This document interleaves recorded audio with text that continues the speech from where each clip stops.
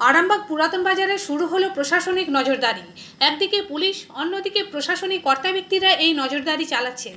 বৃহস্পতিবার সকাল থেকেই অভিনব পদ্ধতিতে কেনাবেচা শুরু হয়েছে। নির্দিষ্ট নিয়ম মেনে সকলকে বাজার করতে হচ্ছে। দেখভাল করছে পুলিশ ও ভলেন্টিয়াররা। পুরপ্রধান স্বপন নন্দী নিজে উপস্থিত থেকে সকলকে সচেতন করছেন। খুশি ক্রেতা বিক্রেতা সকলেই। এদিন বাজারে অন্য দিনের থেকে ভিড় অনেকটাই কম। সকলেই নিয়ম মেনে বাজার করছেন। এবার দেখে নিন এদিন আরামবাগ পুরাতন বাজারের চিত্রটা কেমন ছিল।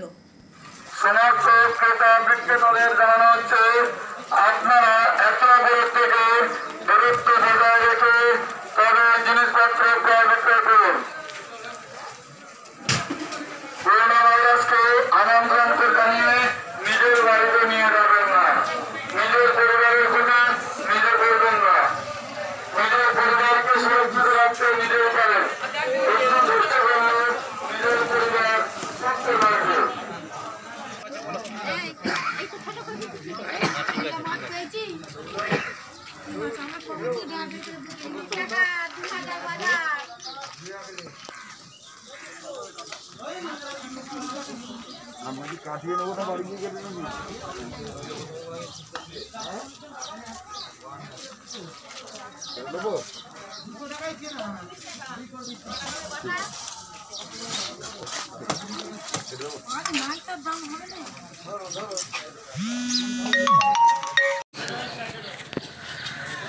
এসডিও প্রশাসন এসডিপিও প্রশাসন, বিডিও প্রশাসন, আরামবাগ হসপিটাল প্রশাসন, আরামবাগ থানার আইসি প্রশাসন, পৌরসভার প্রশাসন, আমাদের স্টাফ ভাইরা, আমাদের পৌরসভার সদস্য সদস্যরা, আপনারা জানেন যে আপনাদের সেবায় অক্লান্ত পরিশ্রম করছে।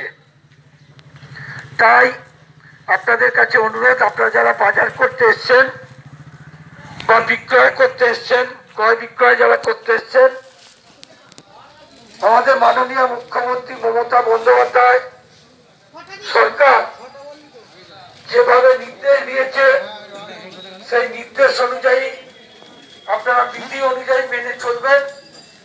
এক মিটার দূরত্বে আপনারা যে যার কেনাবেচা করবেন আপনারা আচ্ছা বাজার প্রতিদিনই বসবে তো নাকি? হ্যাঁ বসবে সাতটা থেকে এগারোটা পর্যন্ত এগারোটা পর্যন্ত। আচ্ছা এই মাছের যোগান কেমন আছে? আমদানি কম আছে। কম আছে। আর দাম কি অন্যান্য দিনের তুলনায় বেশি আছে না কম আছে? আছে। আমদানি নেই না থাকলে দাম হবে।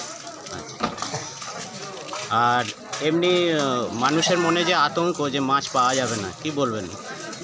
না পাওয়া যাবে একটু এবার নিজেদেরকেও সতর্ক থাকতে হবে।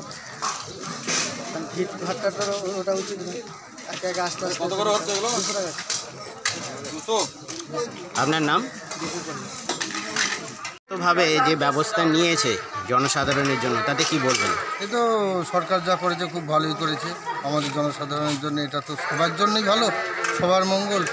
আপনি বাঁচলে আমি বাঁচবো এই প্রকল্প যেটা নিয়েছে সরকার ভালোই নিয়েছে ভালোই করেছে আচ্ছা এই যে ডিস্টেন্সে সবাইকে বসিয়েছেন এ ব্যাপারে কি বলবেন? এটাও তো খুব দারুণ পদক্ষেপ নিয়েছে। সবার জন্যই সবার জন্য মঙ্গল। আপনার নাম? আমার নাম হাবিবুল্লাহ চৌধুরী আরামবাগ তালতলা বাজার। ধন্যবাদ।